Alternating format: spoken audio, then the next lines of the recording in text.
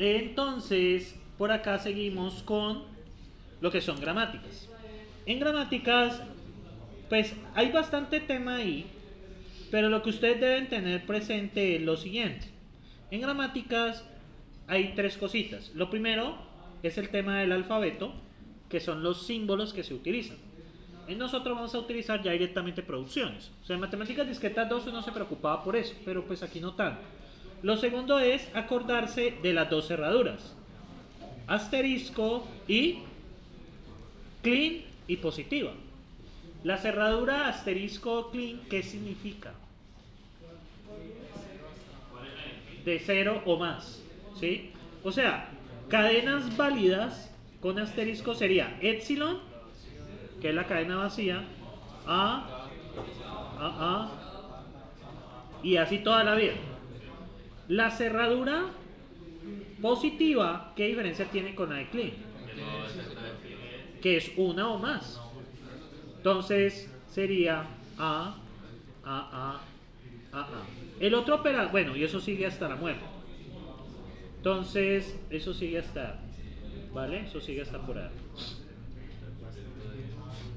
Y hasta, bueno, hay otra cosita en la unión.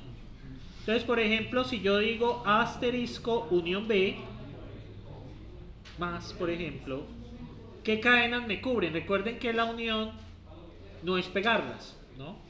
Es el error clásico. Las cadenas válidas aquí son epsilon, pues por A, A, A, A, y así. Y luego B, bueno, eso sigue hasta, hasta el infinito. Luego B, B, y así hasta el infinito, ¿vale? Recuerden que la unión es una o la otra. ¿sí? Es una unión de conjuntos, ¿vale? Listo. Estas son las tres más importantes. Lo que es un alfabeto, que son los símbolos, lo que es la cerradura de clean, lo que es la cerradura positiva y lo que es la unión. Esos son los operadores que nosotros necesitamos. Por allá aparece lo que es la forma Bacchus-Naur, que es en las reglas de producción. Entonces, Bacchus-Naur, BNC. Entonces yo, por ejemplo, ¿cómo se especifica esto? Se utiliza mayor que menor que para las reglas. Entonces, por ejemplo, voy a especificar una lista de números. Lista n. Este es el nombre. Dos puntos, dos puntos igual. Y hay varias formas de especificarlo. Dos puntos, dos puntos igual. Entonces, ¿qué pasa? Puedo decir que es un INT asterisco. INT es un número entero. ¿Y por qué le pongo asterisco? Cualquier, número cualquier cantidad de números enteros. Entonces, de listas tenemos el caso base, que es lista vacía, lista con un elemento, lista con dos elementos, lista con tres elementos y así, ¿vale? ¿Vale? Eso naturalmente es infinito. Es una forma de especificar una lista. INT asterisco. ¿Sí? ¿Qué significa el asterisco? Ah, pues que son cero o más. Recuerden que las listas, el caso base es la lista vacía. Recuerden que la lista tiene dos casos. El valor y el resto. El valor es cualquier cosa y el resto obligatoriamente tiene que ser una lista. Ahorita hay unos puntos para jugar con eso. ¿sí? Ahorita ustedes van a disfrutar esos puntos eh, a todo gas. Bien, hay otra forma de poner esto, miren, lista n y que funciona bien. Por ejemplo, cuatro puntos igual, entonces yo puedo decir que es un int seguido de una lista n y el caso base es la lista vacía. Miren cómo se arma esto. Cojo un entero, 5. Cojo una lista, tiene dos casos. Puede ser un entero seguido de una lista o lista vacía. Voy a coger otro entero, 7. Entonces el siguiente caso es una lista n. Miren que eso es un llamamiento recursivo. ¿Sí? Eso es una especificación recursiva. Que es lo que viene la próxima semana, especificación recursiva de datos. Van a utilizar estas gramáticas todo el tiempo. Entonces tenemos entero lista o lista vacía. Voy a escoger lista vacía. Listo, ya tengo mi lista. Sí, sencillamente la lista vacía no se coloca. ¿Vale? Entonces una lista con 5 y con 7. Esa es otra manera de especificarlo. ¿Sí? Utilizando, puede utilizar cerradura de clean, cerraduras positivas, puedo utilizar llamados recursivos, puedo hacer llamamiento entre diferentes reglas de producción, hay muchas cosas que puedo hacer. Hay otra cosa que puedo hacer es esta. Lista n, cuatro puntos igual, entonces viene int, lista n, y hay otra forma de especificar esto. Puedo utilizar este operador para decir que es o lista vacía. El palito, no me acuerdo cómo se llama. Backslash, algo con B, no me acuerdo. Entonces, esa es otra forma de, de manejar. ¿Vale? Entonces, de acuerdo a eso, si yo pusiera esta regla gramatical, pilas porque la otra semana eso es al orden del día. Entonces, por ejemplo, lista S. Entonces, lista S la voy a definir como un símbolo o bien como un símbolo seguido de lista S. Primera pregunta. ¿La lista vacía pertenece a lista S? ¿Sí o no? ¿Por qué no? Porque no está especificado correcto. No pertenece. ¿Vale? Eh, eso es una... Yo no haría esta gramática porque pues el punto de parada es un símbolo. Pero bueno, también es válido. Pero pues no es lo que vamos a hacer. Listo. Y pues, ¿cuáles serían las listas? Por ejemplo, una lista como eh, un símbolo cualquiera, A, B, C, D, E, pues sí pertenece.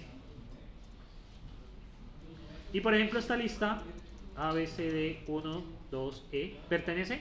No. no. ¿Por qué no pertenece?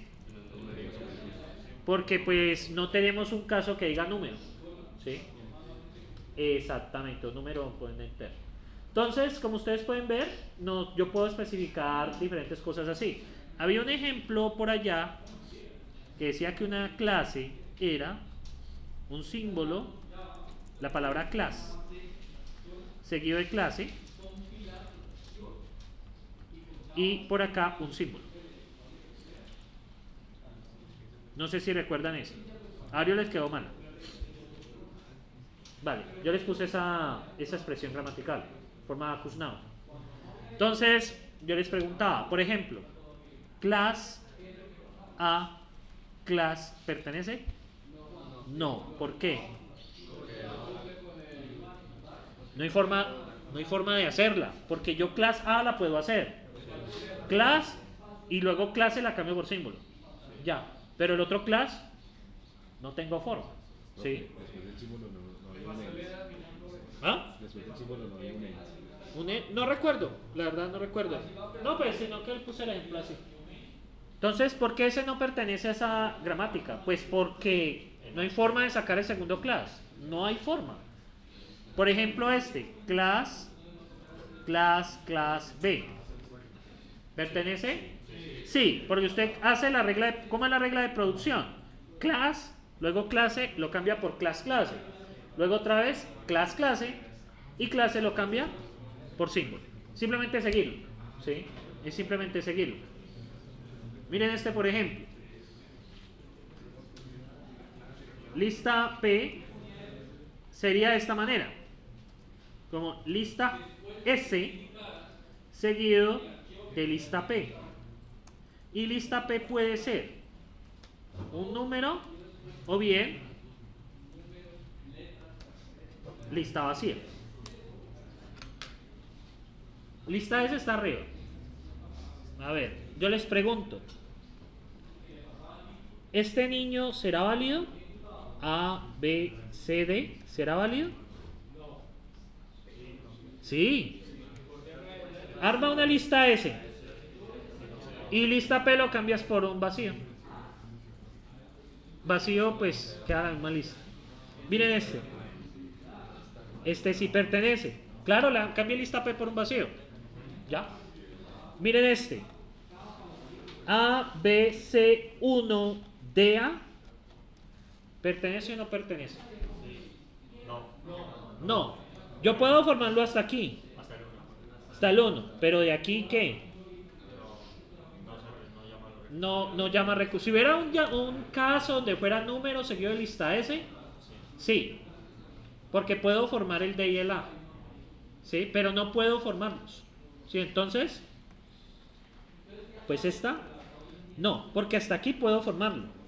O sea, básicamente esa lista P son todas listas de símbolos terminadas o que terminan, son listas de símbolos o listas de símbolos que terminan con un número. Si miren la, la forma gramatical. La forma gramatical les dice a ustedes, ah, es una lista S y lista P, lo puedo cambiar por un, por un vacío o por un número. Entonces eso está obligado a terminar en un número o no terminar en un número, pero solo termina en uno solo. Y después del número no puede seguir nada más. ¿Sí? Vale. Entonces son diferentes formas de escribir las cosas, como ustedes pueden ver. ¿Sí? ¿Preguntas, feelings? ¿Nada?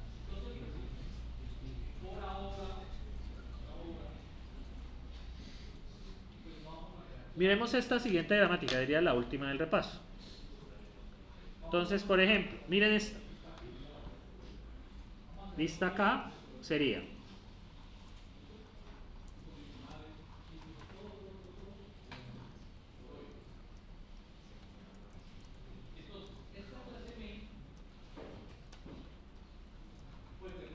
¿Cómo sería esto?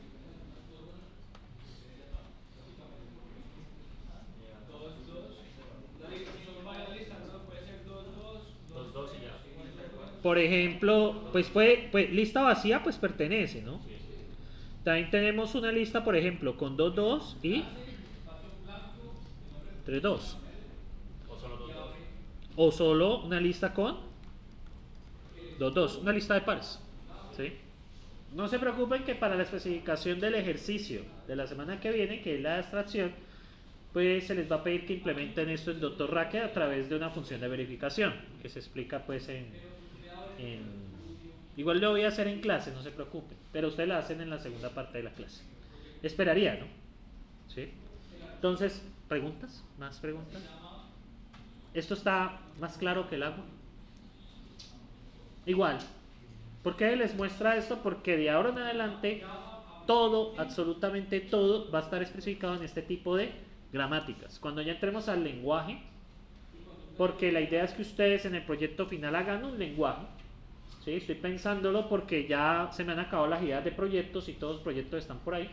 Entonces quiero poner algo diferente este semestre, ya que este es el penúltimo curso de FLP eh, en esta forma. Ya para el último, pues quiero un cierre de oro. ¿sí? Recuerden que quedan dos cursos de FLP. En serio. Después la cosa se pone un poco complicada. ¿Sí? Ya solo quedan dos cursos de FLP. Este y el, y el que viene y ya. Ya después les toca pedir cursos de verano o cosas así raras. ¿Sí? No, no, no en que semestre eran un curso de adicional, no dieron cuenta. Dígame.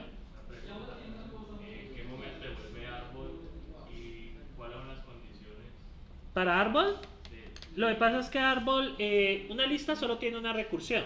¿sí? Una lista, dentro de una lista hay otra lista. Árbol es análogo a una lista, solamente que tiene más de un interno. Árbol, por ejemplo, hagamos un árbol binario, árbol B. Hagámoslo de esta manera. Un árbol B, pues hagamos de una vez la hoja, que puede ser un entero, o bien un árbol puede ser un símbolo seguido de árbol B y luego un árbol B. O sea, un árbol estructuralmente es lo mismo que una lista. La lista solo tiene una recursión, que es acá. Una lista siempre tiene una recursión consigo misma. Un árbol tiene dos o más. ¿Sí? Entonces, ¿cómo podemos armar un árbol aquí? Por ejemplo, un 5, ¿qué sería solito? Un 5 es un entero, ¿no? ¿correcto? Y funcionaría como una hoja. O sea, un 5 solo es una hoja, de acuerdo a esa gramática. Ahora, un símbolo, por ejemplo, K, árbol B, ¿por qué lo cambiamos? Otro símbolo, por ejemplo, P y dos árboles, 2, 3. Y el segundo hijo acá sería T y pongamos 4, eh, 5, ¿vale? Entonces miren la regla acá. Esta es la segunda regla. Si ustedes ven acá, esto es un símbolo. ¿Esto qué es? Un árbol B. ¿Y esto qué es? Árbol B. ¿Sí? Miren que eh, el tema con los árboles es que los árboles son estructuralmente iguales a las listas. Es la misma cosa. Solamente que sí, tienen dos o más casos recursivos. ¿sí? Un árbol es, una lista solo tiene un caso recursivo. Una lista puede verse como un árbol de una sola rama, de hecho. ¿sí? Solo que aquí ya solo tenemos dos llamados recursivos. Una pregunta, pues, ahí no debería ser P y el 2 termina, o porque ponen 3 y en I debía tener ¿Cómo? En el árbol B, pues en el primero donde está P, 2, 3, no debería ser. Ah, porque es que P2, 3, esto viene siendo un símbolo, ¿correcto? Sí, es un símbolo. Pero cuando tú cambias, eh, 2 es un árbol B, porque entra en este caso. Sí. Y este también es un árbol B. O sea, siempre va a tener 3. Pero él- eso trata de, de dónde saca el árbol B, si ¿Cuál? de saca del otro allá. Sí, el otro acá. Es que el caso se repite. Profe, pero eso, eso puede llegar a ser infinito, Sí, claro. ya que vuelve otra vez a árbol y puede volver a tomar la segunda opción. Sí, usted, no, usted puede hacerlo hasta nunca acabar. No, no pasa nada, no se preocupe que, o sea, matemáticamente, esto, porque esto es una expresión matemática, matemáticamente una estructura de datos puede ser infinita, pero computacionalmente no lo puede ser. Número uno, pues porque no es práctico. Y número dos, pues no hay memoria que le aguante eso. ¿Sí? Por, Entonces ahí sería 2, 3 y ahí termina. No podría poner otro. no, porque es el caso de parada. Este es el caso base y este es el caso recursivo. Sí, o sea, en estas gramáticas ustedes siempre van a encontrar el caso base y el caso recursivo. Sí, esto es recursión, pero con, no con... Esto es recursión no con funciones, es con datos. ¿Sí? Y es lo que vamos a arrancar a ver. De hecho, esto de la gramática les conecta con el tema que viene. Recursión de datos. ¿Qué es un dato recursivo? Pues es un dato que dentro de sí está definido consigo mismo. Una lista. Una lista tiene dos partes. ¿Sí se acuerdan del cons? Sí. Cons NL. N es un valor y L ¿qué es? Pues otra lista. Cons, por eso es que la llamamos cons NL. Por eso es que les explica eso en fundamentos de programación. No sé si recuerdan los cons. ¿O no? Bueno, igual les dejé un tutorial de Raquel, ¿lo vieron?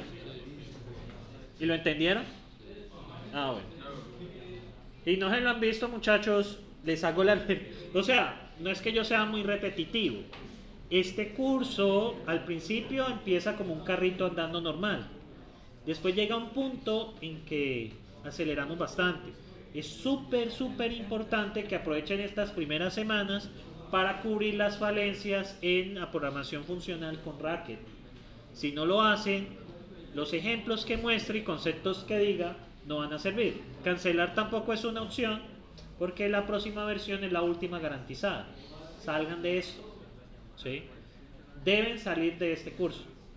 Porque a ustedes les está respirando en la nuca, no la pobreza, porque son ingenieros de sistemas. La reforma. ¿sí? Ustedes no les respira la pobreza en la nuca. Pregúntenle a sus compañeros cómo están los salarios y verán que no. ¿sí? De hecho, les estás respirando la riqueza en la nuca, pero por ahora es, el, es la, es la reforma. Pilas con la reforma, muchachos. Después les toca cambiar de pensum y les representa un retraso. ¿Vale? Pilas con eso. Igual pues lo pueden conversar con el profesor Mauricio si lo encuentran por ahí y les hará la misma advertencia. Bueno, entonces, ¿sí se entendió allí la idea de árbol? Sea, el árbol es lo mismo que la lista. La lista tiene la característica que solo tiene un llamado recursivo. El árbol tiene dos o más. ¿sí? De hecho, por eso las listas y los árboles como estructuras son similares. De hecho, un árbol es un caso generalizado de una lista. Porque usted puede decir un árbol con un solo, con un solo hijo. Eso es una lista. ¿sí? Ya un árbol puede, si es árbol binario tiene dos, si es ternario, si es ternario tiene tres, si es cuatro arios, cinco arios, seis arios y así. ¿Vale? Bien. Eh, más preguntas sobre esto. El árbol estuvo bastante interesante. Por eso es que los árboles los vamos a representar así, como listas de listas. Ahora, ustedes pueden poner otro árbol. Pongamos un árbol más complejo. H, el hijo izquierdo, T, y pongamos S23, Q, 86. Ya está un árbol más profundo. Y ahora el hijo izquierdo, el hijo derecho del otro, pongámoslo sencillo. Eh, M86. ¿Vale? Este árbol que representa como ustedes lo conocen, la raíz es H. Hijo izquierdo, T. Hijo, dere- hijo izquierdo, S, 2, 3. Luego acá, hijo derecho, Q, 8, 6. Y finalmente, M, M, 8, 6 también. ¿Vale? Ese es el árbol. Esto es esto. Ahí lo representamos directamente como datos. Y lo que vamos a hacer la próxima semana, y de hecho con estas gramáticas de árboles, que yo las prefiero, porque pues ayudan a pensar mucho la recursión, es, bueno, deme la suma de las hojas. Hágame una función que me dé la suma de las hojas. O hágame una función que me busque un símbolo. O hágame una función que me compare dos árboles para ver si son iguales. Pero no con el equal. Una comparación recursiva. ¿Sí? Si usted en un examen me yo le pongo a comparar dos árboles, usted me pone igual a B, no, pues está muy fácil de calificar. Demasiado. Profe, pero lo compara y está bueno. Sí, pero conceptualmente no es correcto. ¿sí? Recuerden que no es el hecho que funcione. Yo nunca he calificado sobre que funcione. Lo importante es que conceptualmente sea correcto. Ustedes me conocen a mí y saben que yo el resultado no lo privilegio tanto, sino él, eh, que conceptualmente apliquen bien las cosas. ¿sí? Igual los errores es pues normal. Me acuerdo de mi error clásico, 1 sobre 1 igual a 0. Me quedó en examen en 4 o 5 sobre eso. Y le había estudiado. Fue en cálculo 3 que me pasó. En serio, coloqué 1 sobre 1 y lo taché y puse 0. No sé qué me pasó. No sé si les ha pasado cosas así. Se me ha pasado eso, pero, pero uno queda un poco triste porque uno dice, pero es que yo entiendo, solo que me equivoqué en eso. Entonces, pues por esa razón, eh, calificó así. Bueno, finalmente, hay algo que ustedes deben tener en cuenta sobre este concepto. Sobre el concepto de recursión. Pero yo busco un meme. A ver si lo encuentro. Eh, aquí está. Está en inglés, pero pues se entiende. ¿Qué pasa con este meme? A ver si lo entienden. Problemas con recursión y arranca, eso, sí, arranca el papelito. Y el papelito dice lo mismo. ¿Por qué? Porque se hizo en recursión. Dentro de la estructura o función usted encuentra lo mismo. Por eso son estructuras de datos que dentro de sí tienen la misma estructura de datos. O funciones que se llaman a sí mismas. Lo que van a hacer ustedes ahora es lo de primer semestre. Funciones que se llaman a sí mismas. Y este es el meme. De hecho, pues yo lo he encontrado en español. Pero bueno. Entonces, problemas con recursión. Usted arranca y encuentra exactamente el mismo papelito. ¿sí? Más pequeñito. Entonces, ese es el chiste de la recursión. La recursión tiene dos cosas muy importantes. Número uno, el caso base. El caso base es una solución trivial. ¿Cómo así una solución trivial? Cuando usted le dice a alguien, no, eso es trivial, es una solución que es inmediata. ¿sí? Es una solución que es inmediata. La suma de una lista. Si le llega la lista vacía, ¿cuál es la suma de una lista vacía? Cero. ¿Ya? ¿Hay que preguntar algo? No. Entonces, el caso base siempre de las listas va a ser la lista vacía. O, por ejemplo, cuando ustedes están calculando el factorial de 5, ¿cuál sería el caso base? Solución inmediata. ¿El factorial de 1 o el factorial de 0? Bueno, y pueden tomar cualquiera, da igual. El factorial de 0, que es como el, es el matemáticamente correcto, es 1. Te pregunta factorial de 0, ¿cuánto es eso? 1. Ahora, calcula otro factorial y usted qué hace? Coge el número y lo multiplica por la misma función, pero ya no es n, sino n-1. ¿Sí recuerdan la definición de factorial? Igual en el taller está. Entonces es una función que se llama a sí mismo. Entonces hay un caso base, que es una solución trivial. Y luego tengo el caso recursivo, que es el llamado a la misma función. Y la entrada debe cambiar de tal forma, nos lleve a dónde? Al caso base, porque si no nos lleva al caso base, ¿qué pasa? Pues eso nunca para, ¿sí? Es una función que se llama a sí misma, pero usted tiene que garantizar que la entrada le llegue al caso base, porque si no le llega al caso base, pues sencillamente le va a decir por memoria que no, que no puede con eso. ¿Sí? ¿Sí recuerdan? Dale, eso es lo básico. Ahora, trabajar sobre eso pues es complejo. En el curso de FADA, pues uno analiza la belleza de los algoritmos recursivos. Hay unos que son muy buenos y hay otros que mejor hágalo eh, con un for ¿sí? Hay otro mejor hágalo. Por ejemplo, el Fibonacci recursivo, eso es exponencial. Iterativo es lineal. Obviamente me voy a quedar con el lineal. Igual eso eh, en el curso de FADA se explora, ¿sí? Eh, bueno, curso de FADA, este semestre está en mis garras, pero pues no sé el próximo en garras de quién esté. Pero es muy bacano pues uno explorar eso. La recursión no siempre es lo mejor, ¿sí? Pero eh, en muchos casos sí lo es. Bueno, feelings, sentimientos, comentarios, quejas. ¿Todo está bien? Recuerdan que el descanso es a las 10, ¿no? ¿Sí? No a las 9, sino a las 10 por, por lo que la situación que ya les expliqué. Bien, entonces, preguntas hasta aquí porque ya cierro. Ya cierro. ¿Sí les sirvió este recorderis? La idea es, vean los videos y yo hago un recorderis. Pero esto nuevamente me ha tomado las 4 horas. La idea es que aprovechar el tiempo. Es importantísimo que hagan los videos. ¿Preguntas antes de cerrar el video? ¿Feelings? ¿Nada? Es jueves. Ya están aburridos y aburridas. Bueno,